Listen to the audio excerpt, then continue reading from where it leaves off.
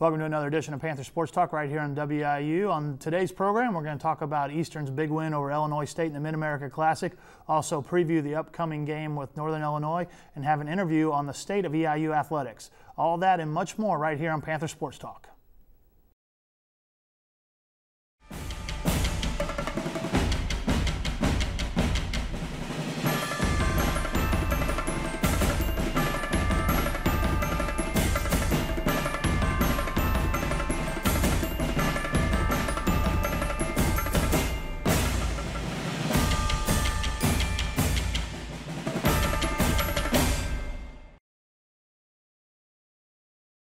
Production for Panther Sports Talk is brought to you in part by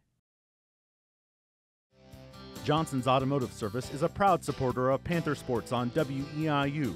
Johnson's has alignment checks along with oil changes. Located at 800 Madison in Charleston. Johnson's Automotive Service, keeping your life running.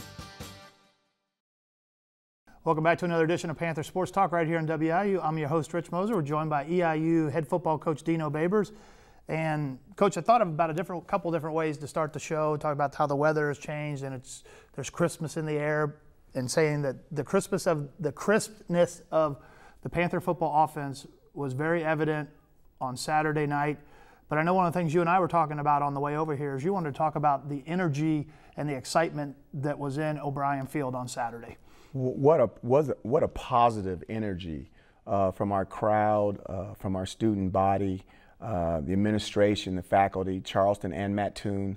I mean, the energy in the stands was unmatched, and I thought that our players really fed off that energy uh, first, second, and third quarter.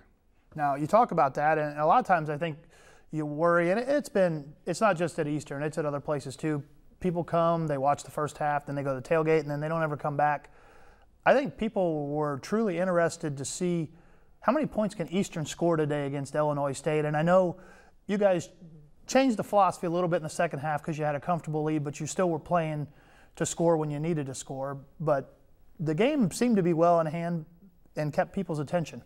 Well, uh, when we came out at halftime, the thing, the thing that I was excited about is just, it was to see the standstill field, and uh, and everybody still waiting. To, I mean, still willing to cheer on this football team to victory. I did not think the game was in hand until somewhat uh, in the third quarter after we scored 14 points. I felt that we pretty much had that game in hand, but uh, we the one thing we didn't want to do is be that storybook comeback that everybody talks about and and let them get back into the game. They came out at halftime and marched down and scored on our defense, but after that our defense tightened up and we were able to put a couple of points on the board on offense and, and get it back and get it back under control. Now, I know all week you've talked about how this team was really focused and you'd never seen a team really dialed in the way this team was for this game. Part of that, I think, is the success we've had early on, but part of it has also got to be the bad taste that was left in a lot of those guys' mouth last year and the double overtime loss to normal. You know, it, that that I, I, I, go back to that game because I really think that game shaped us. I really think that game was the reason why we won the OVC conference, and definitely the reason why we were able to beat Murray by one point the next week.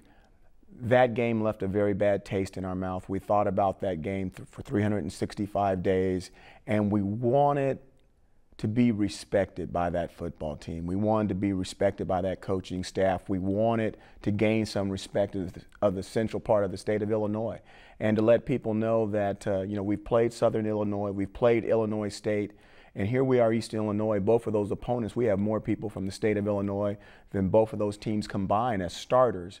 And we want this to be our state. We want to we want to recruit the city of Chicago. We want to recruit the city of St. Louis, and we want to recruit the state of Illinois. So if you want to recruit the state, I guess you need to try to win the state. And we were fortunate to get wins over both of those programs. Now two and zero oh in the state so far. You mentioned you guys beat Southern, beat Illinois State. You're going to try to go three and zero oh in the state this weekend when you play Northern Illinois. We'll talk a little bit about them in a few minutes, but the player that's going to be the focus, because you talked about kids from the Chicago area, is Jimmy Garoppolo. He is a Chicagoland kid.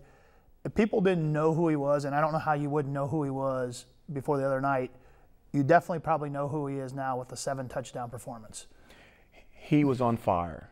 He was on fire, and uh, I'm not sure I've seen a hotter quarterback in the first half of a football game I've seen RG3 mighty hot in some games, but I'll put Jimmy right there with the first half of that game against Illinois State.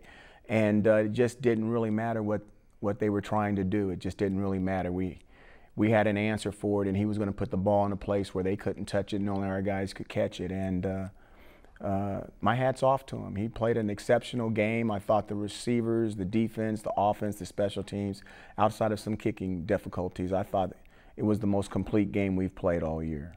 Now, I'll just give you a story on how I've gotten used to having Jimmy be successful as a quarterback. We're sitting up there, and he threw the six touchdown pass, and the scout from the San Francisco 49ers is up there, and he says, That's six for him in the half. And I'm, I had to think about it for a second. I was like, Yeah, I guess it is. I said, I just, you kind of have gotten used to him throwing touchdown passes and that the offense doing good things that six didn't seem like an unreachable number. And then when he got to seven, it's like, if it had been a close game, who knows how many he might have been able to go for.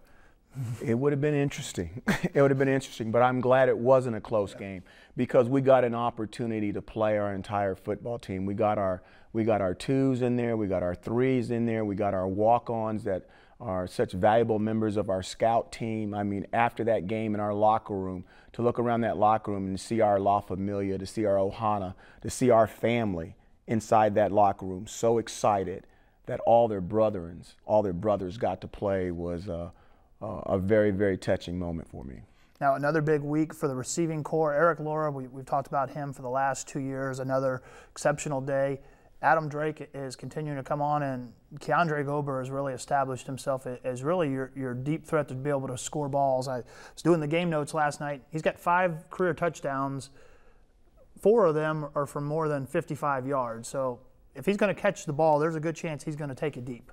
You know, it's interesting because I thought one of his best plays was he he ran a route later on in the game and and we thought he was going to go deep and he broke it off for about a 14 yard stop route and caught the ball and got out of bounds and I ran over there and I mean I'm like I was so proud of him to see that he just took what the defense gave him and uh, Keandre's Keandre's a special guy and and the more as he matures as a player and a person he's going to be uh, become better and better and better there's there's no limit to what he can do with his ability. Now the running game is successful again. I know kind of a a personal goal for you was we're going to get around that 200 yard mark rushing against Illinois State, and you guys exceeded that. I think you were in that 280 to 300 range, and a good good balanced performance there. Taylor Duncan and Shepard Little both had a good number of carries, and both one was over 100 yards, and the other one was closing in on it. Well, uh, well, you you started a, a, rift in the staff last week, Rich. You did because you you told me that we had never rushed for 200 yards, and it just goes to show you when you get caught up in doing all the things as a head coach as you, as you do. And I looked at you and I said, "You got to be kidding me! We haven't rushed for 200 yards in a game." And I went back and had conversations with Coach Lynch and Coach Maddox that we needed to make sure we eliminated that right away because the one thing that we can do in this offense and we have to be able to do is run the football. And 200 yards a game is not a magical mark for me. That's something that we needed to attain. So it was the goal of the offensive linemen. They told me they were going to get it done. The backs told me they were going to get it done, and I told them how many carries they were going to have to get it done, and and they came in on mark. So my hats off to Coach Lynch and uh, Coach Maddox and the O line and the running backs, and uh, congratulations to them and uh, fantastic effort on the on the ground. Now, when you, you, talk about the run, stopping the run has really been an emphasis for, for the defense this year. And once again, a, a good job. The, the total numbers, I, I, think, are a little deceiving to some people when they see total offense that, that teams are getting against us. A lot of it's coming on the pass, but a lot of that is predicated on the fact that we have been ahead in several games and teams are having to pass to get back into games. But the run defense has been really good early only one guy has rushed for over 50 yards against us so far this year as an individual. Well, that's that's the key to the game. The key to the to me again, football is a is a physical game. It's, it's, what makes it so great. It's so different than basketball and baseball and everything else. It's the most physical game out there. And if you're going to win the game, you have to win in the trenches. And to win in the trenches, you have to be able to stop the run, and you have to be able to run the ball.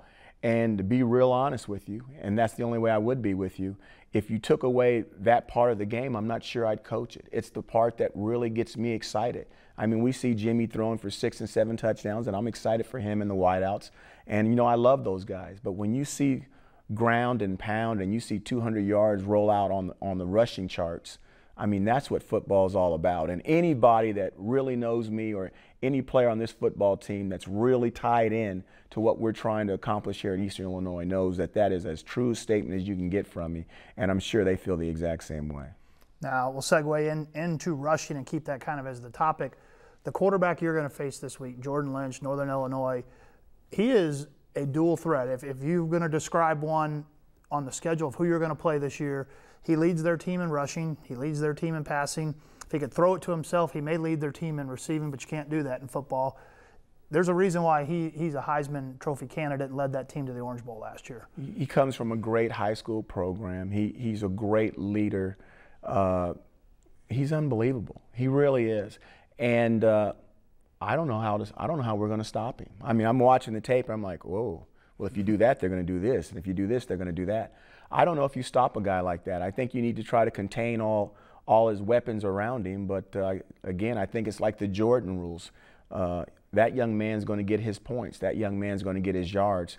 It's whether you can take the other things away from him and, and see if you can find a way to score one more point more than them. Now, when you talk about that, I know you guys haven't really played a what I would consider a mobile quarterback this year, and not not a true mobile quarterback maybe last year. Some guys that probably ran, but that wasn't. It seems like run seems to be the first option for him from the little bit I saw at the end of last year and just looking at his numbers this season.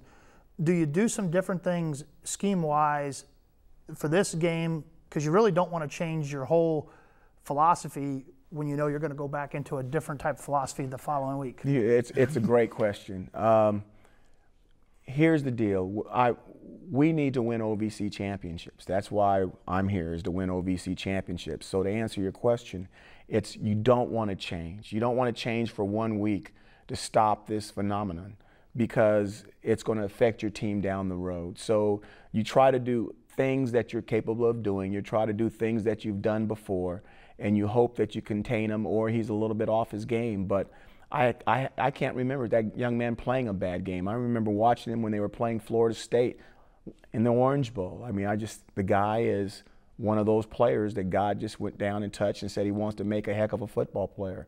And uh, God bless him. I mean, it's, I'm going to watch him too. I mean, the guy is fun to watch. Now, last week you talked about how the team was really dialed in against Illinois State. Part of that is the rivalry game and the respect that the two programs have for playing that game against each other.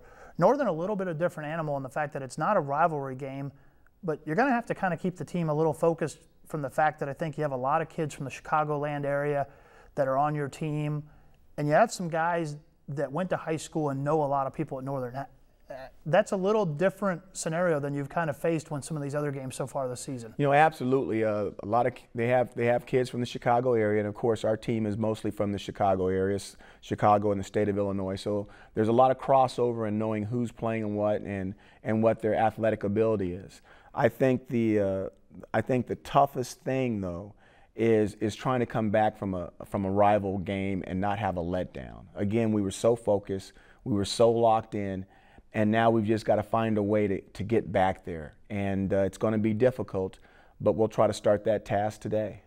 All right, Coach. Well, best of luck this weekend up there. The kickoff is at 6 o'clock in DeKalb. The game is on ESPN3. We hope you can make the trip up to Husky Stadium. It's about a little bit over a three hour drive up there. If you can't make it for some reason, Panther Football Radio Network will have the broadcast at 6 o'clock. After that, we'll hope you'll be back. Hope to have the stands packed again. The Panthers will be back at home on September 28th against Eastern Kentucky. So, Coach, best of luck in that. We'll preview the OVC season next week. We'll be right back with This Week in EIU Athletics. And after that, a halftime interview from this past weekend's game with Mike Brad had with Athletic Director Barbara Burke on the state of EIU athletics. Panther fans, here's what's going on in Panther athletics. Panther football moved to 3 0, capturing the Mid America Classic against rival Illinois State 57 to 24 at O'Brien Field. Volleyball went 1 and 2 at the University of Missouri Kansas City tournament. They're now 4 and 6 on the season. Their one win came against Presbyterian 3 to 1. Women's soccer fell twice last week. They're now 0 and 7 on the season. They lost 3 0 at Missouri and 3 0 against Loyola Chicago. Men's soccer drops to 0 4 on the season, losing two matches at Lakeside Field 4 1 to Loyola Chicago and 3 1 to Western Michigan. Both matches were part of the 50 year celebration of Panther soccer at EIU. Cross country was in Normal, Illinois for the Illinois State invite. The men placed fourth overall, while the women placed fifth. The top men's finisher was Mike Heslaw in 10th place, and the women's top finisher was Emily Brelsford in 14th place. Women's rugby dropped their third straight match to start the season. They lost 14 to 5 at Pittsburgh. Men's golf competed at the SIU Edwardsville Fall Invite. They placed 10th overall, and the top EIU finisher was Oscar Borda in 22nd place. Women's tennis competed at the SIU Edwardsville Fall Tournament. Janelle Prisoner was 3 0 in Flight 1 singles play. And softball hosted a fall tournament at Williams Field. Now, here's what to watch for this week. On Friday, men's tennis begins a three day run at the SIU Edwardsville Fall Tournament. Women's soccer is at Lakeside Field with a match against Drake at 3:30. Volleyball begins tournament action at the Kent State Tourney this weekend. They'll take on Illinois Chicago at 4 o'clock. And men's soccer is in Evansville, Indiana for the Evansville tournament. They'll take on the Phoenix of UW Green Bay at 5 o'clock. On Saturday, men's tennis continues action at the SIU Edwardsville Fall Tournament. Volleyball with two matches at the Kent State Tourney. They'll take on the host Kent State at 11:30, followed by a 3:30 match against Binghamton. Women's tennis takes on Southern Indiana at 1 o'clock over at Darling Courts. And Panther football is in DeKalb for a matchup with Northern Illinois at 6 o'clock. You can listen to that game on Hitmix 88.9 WEIU or watch it on ESPN3. On Sunday, men's tennis wraps up competition at the SIU Edwardsville Fall Tournament. Men's golf is at the Chicago State Tournament. And softball is also up in Chicago at the Illinois Chicago Fall Tournament. Women's rugby is at Grand Valley State for an early morning match starting at 8:30. Women's soccer with a 1 o'clock match at Lakeside Field against Valparaiso. And men's soccer wraps up tournament action at the Evansville tourney against the host Purple Aces at 2:30. For Panther Sports Talk, I'm Ramin Kabasioun. Here's Garoppolo out of the gun, looking to throw to the right. Fakes the short pass, now throws it deep up the sideline. Lora's out there, got it to the 20, 10, to the 5, dives. Is he over? Touchdown, Eastern Illinois. Eastern Illinois Panther football is on WEIU. EIU welcomes OVC rival Southeast Missouri State to O'Brien Field as the Panthers look to defend their conference crown. It's the Panthers and Redhawks, October 19th at 1:30. WEIU is your home for Panther football. We're going to visit with the Director of Athletics at Eastern Illinois University, Barbara Burke. And Barbara, off to the start of a new school year and uh, things going good with the start of football. I guess it's a good thing when, when football's off to a good start. That sort of helps everybody. You know, it is. It gets the energy up of everyone on campus, and people want to come out. They want to be around the program. And, you know, it's interesting all the calls and things we get for people, you know, where can I park? Where can I buy tickets? So those are good problems to have, and we look forward to that. And, and we're thankful that football has gotten off to a great start. It's kind of cool the way it's worked out too. Eastern has never had two road games to start the year and won them both before, so that really builds momentum for a home opener. You know it does, and, and it's been made very clear to me how difficult the schedule is, and so I take full responsibility for that. But you know there's a there's a risk reward for it, and right now we're being rewarded a little bit for it, and and I'm just appreciative of the efforts of our team and our coaches and staff. So it's it's been a great start, and um, you know that trip to San Diego and how the team performed there was just amazing, and, and they deserve to win it. So it's amazing how uh, that the uh, the kind of the, the situation changed just in the last couple of years and expectations. I hear I hear people talking about, boy, we didn't play very well at Southern Illinois, and yet you, you won at Carbondale. To me, that's enough said. You know, it's it's funny you say that because um, I had a couple staff members with me and we were traveling home and going, boy, you know, our offense just wasn't clicking. And then I got online as we're traveling and, and I'm like, we had over 600 yards. So our offense was clicking and, and um, it is. Our expectations change very, very quickly. We're talking with Eastern's Director of Athletics, Barbara Burke. I know, Barbara, the sports are like children. You want to love them all equally. But uh, it was a great year last year, too. You won the All Sports Championship in the OVC. You know, we did. You earned points for your place finishes in all of the OVC Championship sports. We brought home six OVC Championships last year and brought home the uh, Commissioner's Cup for the third time in four years. So we're very proud of the accomplishments of all of our teams. You know, and our track teams have been pretty dominant, both men and women, and, and they've just done a great job. And now our softball team has been very strong the last couple of years. So we're excited for all of our teams, and they've done a great job. And, and you know, they do a wonderful job representing EIU. For the last few years when we've done these sorts of interviews, we've talked a lot about membership in the OVC and expansion and things like that. That's, that's sort of back burner now, isn't it? It's calmed down a little bit, um, not only across the country, but in the OVC. I think we're pretty stable right now. We have a great nucleus of, of uh, programs and institutions that, that all seem to be a great fit for each other, and, and we're very respectful of each other. And so I'm, I'm appreciative of that because we can focus on what we need to do, and that's our day to day operations. And then nationally, you know, you always hear the rumors here and there. And and um, but I think it has calmed just a little bit. And um, EIU is just going to have to pay attention to what's happening happening on the national level as far as NC2A championships and memberships. I, people read a lot about maybe the big, you know, the big schools breaking away or wanting to have big changes. Is there any? Do you have any sort of a sense for what that might mean at Eastern's level? You know, I really don't. I, have served on the NC2A championships cabinet, and there's there's discussion about it, but there's nothing um, formal happening right now. And you, I just don't know what's going to happen, and I'm not sure that anybody does. And I, I, think it's in our best interest and my best interest as an athletic director to pay attention to what's happening um, across the country on a national level and, and make sure that our position, EIU, is in a strong position to make and do whatever is necessary to solidify our position in the NC2A looking ahead, a month from now, there's going to be basketball practice taking place at Eastern, and uh, I know you're excited about the new season, both the men's and the women's teams. Well, uh, there is a lot of excitement right now for both basketball programs. Coach Spoonhour has a great group coming back. He's done a wonderful job recruiting, and I've been watching them in, in the individuals, so I think people are going to be a little bit surprised. And then Coach Debbie Black, who we just hired, um, you know, people a little bit worried. We lost a lot, but boy, we've got a lot coming back, and then she was able to fill in a couple of key positions. We have a junior college transfer that I think people are going to be really excited about. So I'm looking forward to that season. And, you know, I don't want to rush the football season along. And um, I just want people to enjoy what our student athletes are doing. That wraps up another edition of Panther Sports Talk right here on WIU. Thanks for watching. Reminder, we'll wrap up this program with some highlights from the 102nd Mid-America Classic, Eastern's big win over Illinois State. Reminder, 6 o'clock is kickoff up in DeKalb and Husky Stadium. Hopefully people will make it up there for the trip. If you can't, listen to the game on the Panther Radio Football Network. We'll see you right back here next week.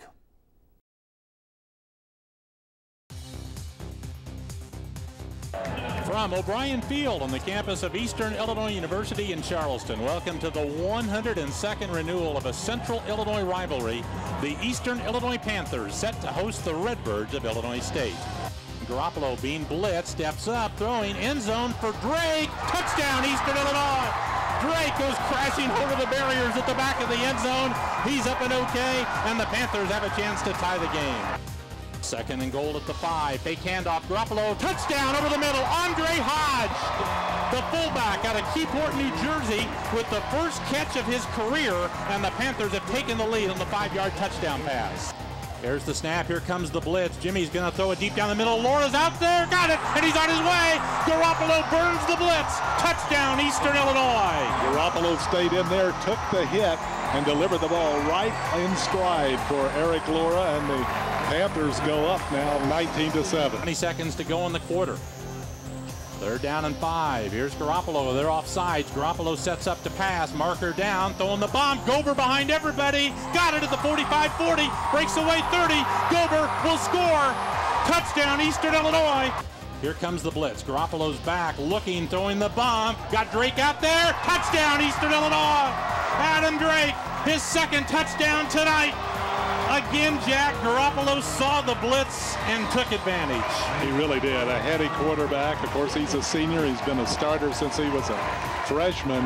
And you'll see here, not only uh, he pumps once, then throws long to Drake. Senior quarterback Jimmy Garoppolo looking for the pass, throwing it for Lora back of the end zone. Touchdown, Eastern Illinois. Lora in the back corner, just perfect accuracy. Lora's shaken up down there as he got hit out of bounds, and uh, he's up and okay. Six touchdown passes in the ball game now for Garoppolo, and once again, a beautiful toss as he just dropped that in over the top. Garoppolo has tied the Eastern record for touchdown passes in a game with six, tying Jeff Christensen and Tony Romo. First and 10 Panthers at their 27. Out of the pistol. Handoff up the middle. Little good hole. 30. Pops through 40. Little turns on the burners. He's gone. Shepard Little, first carry of the second half, goes 72 yards for a touchdown. he has got some explosiveness, Jack. Yes, he does. There was just a hole there. I don't know where the linebackers were, but nobody was home for Illinois State. A huge hole through the right side, and then it was all Shepard Little as uh, there was just uh, nobody going to catch him as uh, took it all the way to the house. He's having himself a big night as well. Third and goal at the seven. Here's Garoppolo. He's looking to pass. He's going to throw into the end zone and touchdown, Erik Lora. I'm not sure how he got that through that window to get him. And it was just great concentration by Lora looking that ball in because he was really covered. The seventh touchdown pass for Jimmy Garoppolo, and that breaks the Eastern record for touchdown passes in a game. He was well covered, and that ball is just perfectly thrown and a great catch by Lora. And the Panthers get the Mid-America Classic trophy, and now it'll sit in the EIU football offices for the next year, and it'll be right inside the door, prominently displayed. That trophy doesn't like to make round trips. It's just gone one place yep. and stayed there, and uh, hopefully, uh, you know, hopefully next year we'll just keep it here. Production for Panther Sports Talk is brought to you in part by Johnson's Automotive Service is a proud supporter of Panther Sports on WEIU. Johnson's says alignment checks, along with oil changes. Located at 800 Madison in Charleston. Johnson's Automotive Service, keeping your life running